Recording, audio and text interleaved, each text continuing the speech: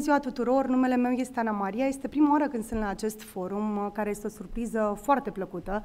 Uh, se întâmplă așa ceva în, uh, în România și că e o participare foarte mare din partea autorităților locale, instituțiilor internaționale, în general în evenimentele acestea despre sustenabilitate, dezvoltare durabilă, mediul de afaceri este cam omniprezent și foarte, foarte acaparator. Nu este cazul aici, ceea ce mă bucură foarte mult. În cele câteva minute care o să urmeze, o să încerc să aduc așa o provocare, să fac un focus, uh, pentru că antevorbitorii mei, atât Ivo cât și Andy, au vorbit de provocările pe care le are mobilitatea urbană în multiple direcții. Eu o să mă opresc asupra uneia și anume asupra celei climatice, Uh, în primul rând, pentru că meseria mea de bază este cea de, uh, de lucru pe, pe chestiuni de schimbări climatice, sunt activist de mediu și schimbări climatice de 17 ani, lucrez în societatea civilă din România, din această perspectivă, pe foarte multe programe educaționale uh, și în același timp, de tot atât de mulți ani, lucrez și în domeniul transportului public pentru o asociație internațională, Calipso, care este o asociație de transportatori publici. Și, practic, astăzi o să încerc să aduc împreună așa aceste două, aceste două subiecte subiecte, uh, purtând aceste două pălării. Uh, e important să știm ce ochelar purtăm când prezentăm ceva. Uh, și mai port și o a treia pălărie pe care o să o aduc astăzi în discurs. Sunt, sunt cetățean, locuiesc în București, nu este vina mea, așa s-a întâmplat să... Bun, și sunt și mamă, sunt foarte mare utilizatoare a mobilității durabile, să zic așa. Mă laud că în ultimii 13-14 ani de când am mașină personală, fără de care nu prea avem cum am vreo 40.000 de kilometri parcurși, ceea ce totuși este bine, zic eu. Folosesc extrem de mult mersul pe jos în București, folosesc bicicleta și mai mult de atât, iar atunci când nu pot să folosesc una sau alta, folosesc transportul public în comun, nu scot mașina în oraș. Ei, ce vreau să vă zic și de aici a pornit puțin și reflexia asupra acestor teme, um, în ultima vară mai ales, da, dar nu doar atât, și, și în verile trecute, mi-a fost din ce în ce mai greu la mine în oraș să folosesc aceste moduri de transport. Uh, și motivul este unul cât se poate de intuitiv și de simplu. Mi-a fost foarte cald și foarte inconfortabil în multe ale, momente ale zilei să merg pe jos, să-mi scot bicicleta sau să mă duc într-un autobuz în care nu era aer condiționat. Erau zile în care era imposibil. Bun. Uh, și în cele ce urmează o să vreau să, o să ne concentrăm puțin pe o, o chestiune retrospectivă, pe gândirea retrospectivă pentru a înțelege puțin ce înseamnă schimbările climatice și de ce sunt atât de importante, că tot vorbim de ele. O să fie așa un focus puțin educațional, dar sper că îmi permite să fac această mică divagație, două-trei minute. O să vedem apoi cum impactează acest lucru mobilitatea urbană și spre final să, o să încerc să fiu și destul de optimistă, să deschid niște piste de acțiune. Bun, ce v-am spus mai devreme, dacă ar fi să-l proiectăm într-o hartă, că mi-a fost foarte greu în această vară să merg pe jos în orașul meu, cred că nu este doar în București, cred că este în cea mai mare parte a lumii. Da? Asta este o hartă a NASA care ne arată cum a arătat luna iulie la nivel global în întreaga lume. După cum vă dați seama, are mult roșu, iar roșu nu prea neapărat bine. Da? Uh, pentru că în roșu sunt înregistrate anomaliile de temperaturi comparativ cu media din ultimele decenii. Și vedeți că avem foarte multe anomalii, da? și avem multe anomalii la noi în Europa, da? inclusiv la noi în țară. Am avut, de altfel, probabil că știți, cea mai caldă, călduroasă lună iulie din toată istoria umanității. Da? Bun, și dacă ar fi să extindem puțin lucrul acesta, asta e un altfel de hartă în cifre, nu e cea mai sexy, dar e o hartă, tot de a, de a NASA, ca să nu avem discuții despre credibilitate, despre cum arată lumea noastră în prezent datorită evoluțiilor din ultimele decenii. Dacă ne gândim la lumea noastră ca fiind compusă din societatea umană, din ecosisteme da?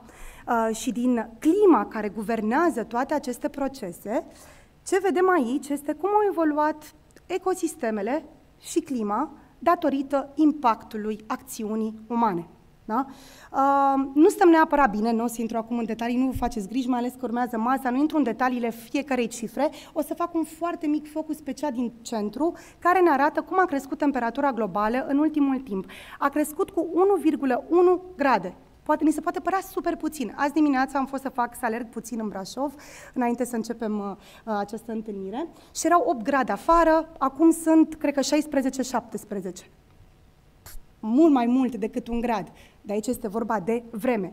Când vorbim de climă, vorbim de evoluții în timp, pe perioade mari, ale temperaturilor medii globale. Bun, la noi au crescut cu 1,1 grade și o să fac un mic focus înainte de a trece mai departe de ce înseamnă această temperatură. Bun, în primul rând, un mic focus la, la nivel de timp, pentru că putem să avem impresia că lucrurile acestea se întâmplă de când lumea. Din păcate, nu. Ce v-am arătat în tabelul anterior, și aici este uh, doar o evoluție a temperaturilor medii globale, se întâmplă probabil cam de când majoritatea dintre noi ne-am născut. Da? Sau se întâmplă cu o intensitate foarte mare. Dacă vă uitați pe acest tabel, ne arată cum au evoluat temperaturile medii globale din 1880 cam până post-2020. Da?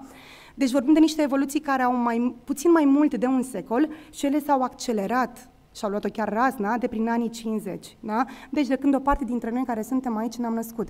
Deci lucrurile astea se întâmplă la scara umanității de acum o secundă. Bun. Putem considera că nu sunt neapărat extrem de importante. Da? Simțim deja niște efecte, niște, dar poate să, fie, să nu fie neapărat grav. Aici am pus o hartă care arată cum arăta continentul nostru Uh, la, în, uh, la ultima perioadă um, glaciară, care a fost acum 12-18 mii de ani, da? înainte să trecem în Holocen. După cum vedeți, colegii din statele nordice nu duceau prea bine, de fapt nu prea locuiau, locuiau pe acolo. Este o hartă Europei care ne arată un continent care nu are nimic de a face cu ceea, cu ceea ce este continentul nostru astăzi. Și vă arăt, pentru că e bine să știm retrospectiv, că diferența între lumea de atunci, diferența temperaturilor medii globale, și lumea pe care o trăim acum este în medie de 5 grade Celsius. 5 grade Celsius au făcut a continentului european să treacă de la harta pe care o vedeți acolo la harta pe care o avem astăzi aici. Și de ce vă spun lucrurile acestea? Pentru că noi deja în câteva zeci de ani am luat 1,1 grade ca temperatură medie globală în plus. Da? În Europa nițel mai mult, că nu luăm peste tot la fel. A, a, estimările cele mai, aș vrea să zic pesimiste, dar din păcate devin realiste ale IPCC-ului, Intergovernmental Panel on Climate Change, ne arată că la orizontul 2100 riscăm să avem între 3 și 5 grade medii în plus față de perioada preindustrială. Perioada preindustrială, pentru că de atunci am început să consumăm în principal combustibili fosili, da? care sunt uh, responsabili pentru ceea ce se întâmplă acum.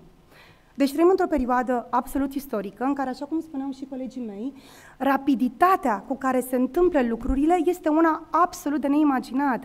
Și o să fie de neimaginat atât pentru noi care suntem aici, mai ales și pentru cei care vor veni. Dar vă asigur că și în ce ne mai rămâne și nouă de trăit, o, o să trăim, o să experimentăm lucruri extrem de provocatoare. Bun. Și lucrurile acestea se reflectă enorm la nivel de orașe. La fel, lucrul acesta nu e neapărat uh, foarte vechi cunoscut. Acum 13-14 ani lucram cu Agenția Internațională de Energie în cadrul unui studiu când am încercat pentru prima oară să cuantificăm care-i treaba în orașe legat de schimbările climatice. Câtă energie consumă cât dioxid de carbon consumă, cât sunt de expuse schimbărilor climatice. Până acum 14-15 ani lucrurile acestea nu erau cunoscute. Da? Um, deci ne vorbim de niște lucruri care sunt extrem de recente, da? care ne vor impacta extrem de mult și e bine să le avem un vizor pentru lucrurile pe care le construim. Um, aici am pus două, două imagini în stânga ca să înțelegeți de ce mi-a fost greu pe timp de vară să mă plimb cu bicicleta sau pe jos în București. Este harta în partea stângă a cartierului unde locuiesc. Zonele verzi sunt evident zone foarte... Este o hartă de căldură, da? care arată temperatura medie în fiecare, în fiecare cartier. Zonele cu verde sunt zone care sunt uh, relativ plăcute, au 19-20 de grade în medie pentru că sunt zone extrem de vegetalizate. Acolo unde vedeți culori roșii care se duc chiar spre negru, sunt zone care sunt exclusiv constau în beton. Da? Beton, chiar și tartan, care absorb, care absorb căldura și care apoi o, um, um, o emit. Bun, multe orașe sunt confruntate cu aceste fenomene, inclusiv cu cele de, de, de insulă urbană, um, de căldură. Uh, unele dintre ele, și sunt convinsă că sunt, aici am pus doar un exemplu, sunt multe, și în Europa au început să se miște și la noi în țară lucrurile acestea, dar un raport care m-a frapat, care a apărut acum câteva luni, este acel al primăriei Paris, care își pregătește strategia de supraviețuire a orașului la 50 de grade și nu la orizontul 2100, ci asta pentru următorii ani și decenii care vor veni, pentru că știu sigur că vor avea, printre altele, astfel de temperaturi. Bun, și Problema se pune, uh, că nu o să mai continui în această direcție de climă, dar problema se pune cum impactează aceste, aceste evoluții, în special cele climatice despre care discutăm, discutăm acum, um, cum impactează mobilitatea urbană. De exemplu, în planul Paris la 50 de grade, mobilitatea urbană este un sector absolut cheie în cadrul strategiei, da? Pe de o parte, pentru că mobilitatea și transportul urban, public, reprezintă adevărate uh, sisteme de circulație în orașe, da? dar și pentru că sunt, vor fi extrem de impactate și că de modul în care ele se pregătesc depinde cât de bine sau cât de rău o va duce un oraș. Da? Bun. Um, și ce poate face sectorul mobilității, uh, mobilității urbane legat de acest subiect? Păi, pe de o parte, și cum am auzit foarte mult în aceste, um, în aceste zile, se pune problema pe de o parte de mitigare, da? cum spunem în engleză, mitigation, să reducem impactul și mobilității și al transportului asupra mediului la nivel general uh, și asupra uh, schimbărilor climatice în mod particular. Uh, primul lucru pe care putem să-l facem, și aici zic un lucru cunoscut de toată lumea, este să descurajăm folosirea mașinii personale, mai ales a vehiculelor um, termice. Da? Um, dar o a doua chestiune pe care o putem face, sau măcar să intrăm pe niște piste de, uh, de reflexie și care a fost atinsă puțin în aceste zile aici, este legat și de impactul pe care toate soluțiile de digitalizare și toate vehiculele digitalizate și hiperconectate, care sunt uh, foarte promovate în cadrul mobilității durabile, ce impact de mediu și climatic au acestea. E și un impact de mediu pe care uh, colega meu l-a adresat mai devreme, pentru că sunt multe bazate pe resurse, pe metale rare, da? Și nu, este neapărat, nu sunt neapărat ușor de reciclat, da? Dar este și un impact de energie foarte mare. De altfel, la nivel global, sectorul digitalizării aproape că l-a atins pe cel al aviației din punct de vedere al emisiilor de dioxid de carbon. Da?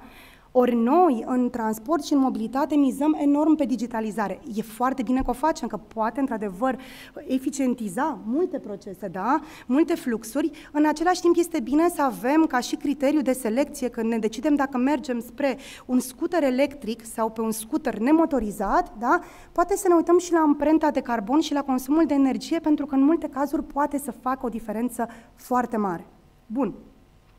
Și al doilea pilon, care este de departe cel mai interesant, dar foarte provocator, uh, este adaptarea și reziliența climatică a sectorului mobilității urbane. Pentru că, așa cum spuneam, va fi foarte, foarte impactat. Reziliența înseamnă, dacă încasăm un șoc, da? de exemplu, o să avem 5 zile cu 50 de grade, cât de mult poate sistemul mobilității urbane să-și mențină funcțiile și să asigure transportul de călători în cadrul orașului. Bun.